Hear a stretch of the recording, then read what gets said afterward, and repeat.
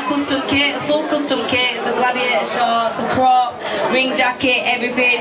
So we've done this uh, for the raffle. Obviously everybody knows that Danny's uh, helping the homeless at Christmas. So we're donating the kit to the raffle for nothing. Sarah, you finally got your kit. it's already designed as well, so it's less work for me, so I've got time Sarah one, to be honest.